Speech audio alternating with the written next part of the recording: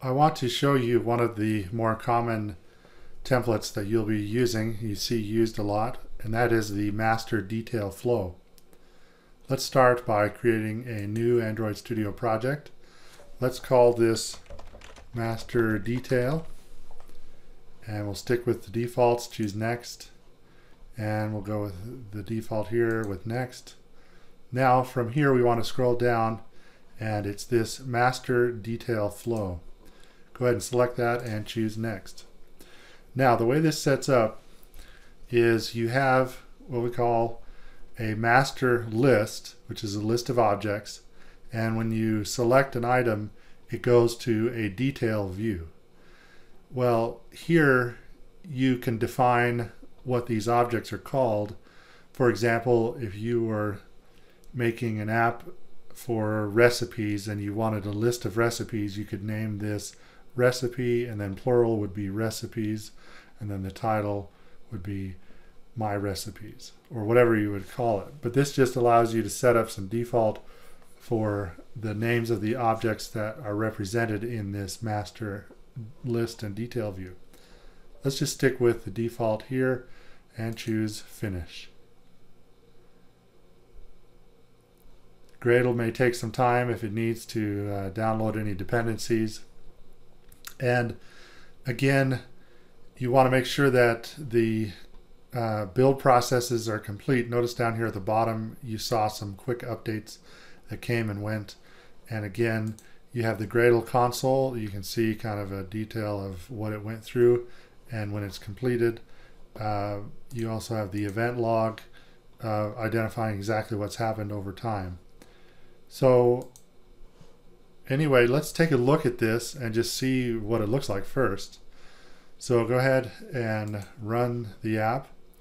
Now, I've created another uh, virtual device. I have a Nexus 9. So now I have a phone for the Nexus 5X and then a tablet for the Nexus 9.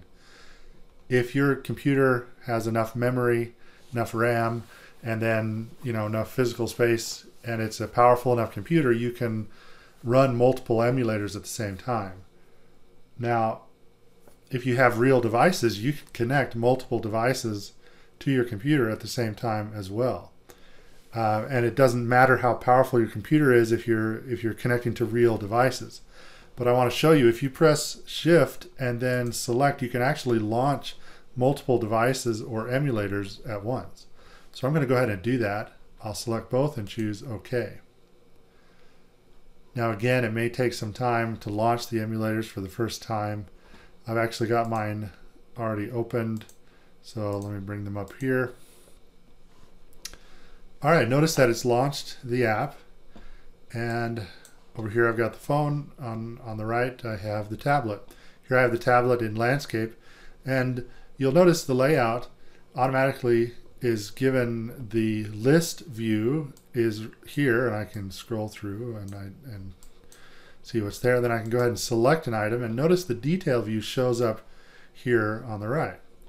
If I'm on a phone you will typically have the list view for the entire screen and then I can select an item and it goes to another activity for the detail if I'm over here on my tablet and I happen to rotate into landscape into portrait, I'm now in portrait. Vertical up and down, it's going to be, it's going to show the the uh, master list first, and then I can select, and now I see the detail view here. And then, of course, if you rotate back, here it didn't account for it, but if I reload it, then it comes back to the correct with both showing on the same time. All right, let's go back to the project and stop the process. Let's take a look at what Android Studio has provided for this template. Now, uh, if you open this for the first time, you may not see everything open on the, the project view. One thing I want to note if you see over here, it says Android. This is a view that puts things in relation to kind of your most used uh, folders and items in order. This actually, notice how it says Gradle scripts and it's got uh, multiple items over here. This is not the actual folder structure on your computer. This is a representation specific to working with Android apps. If I select here, I can now go to project and this is actually a representation of the folder layout on my computer. So here I can twirl it down and this is actually what you're seeing.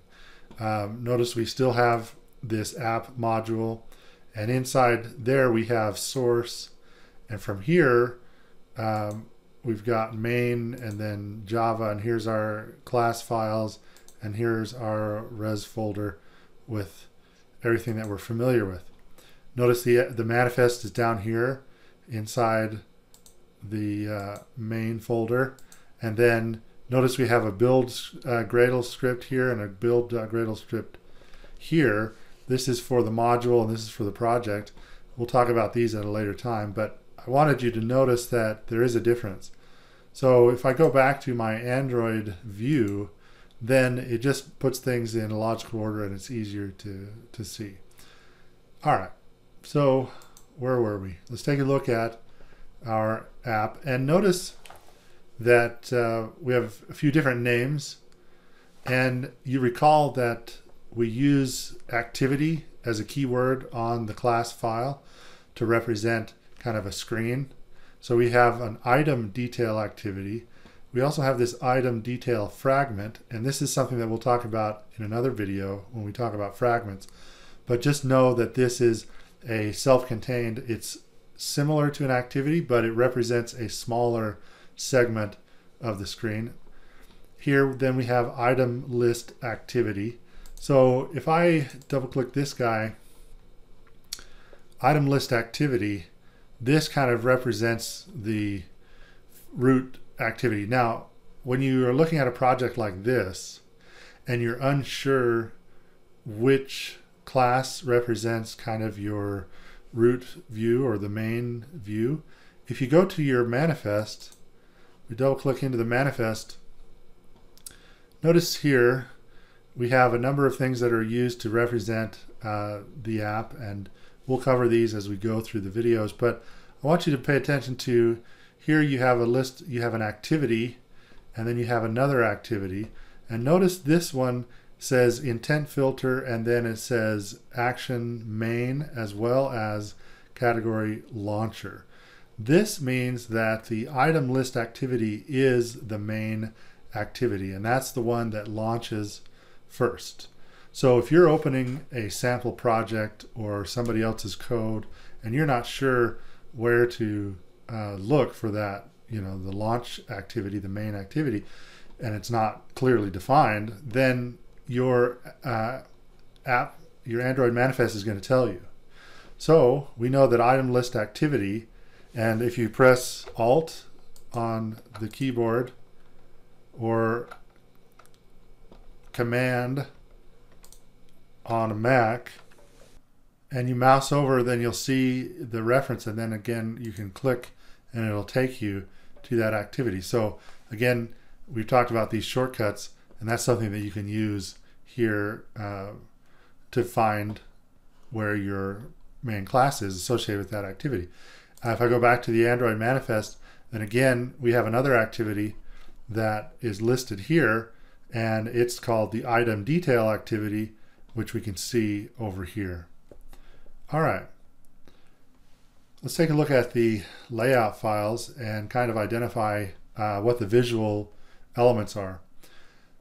Again, remember we use a keyword activity at the end of the class and then we reverse that and we say activity underscore and the name of the, of the class. And so here we know then that the activity item list XML is our kind of our root activity, uh, our root layout.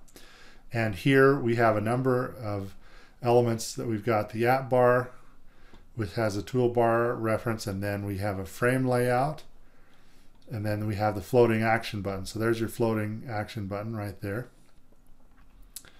And then if we go back to activity item detail, here is the layout for the detail screen, which we, we saw before.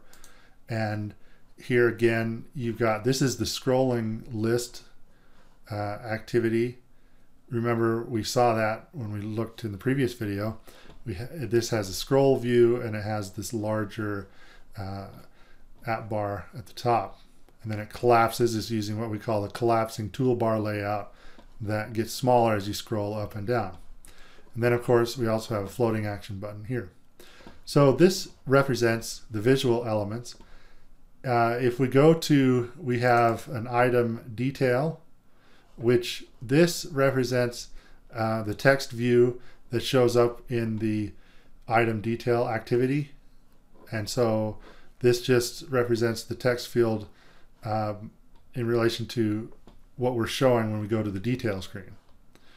Then the uh, item list, which represents the object that shows the item list within the the uh, activity.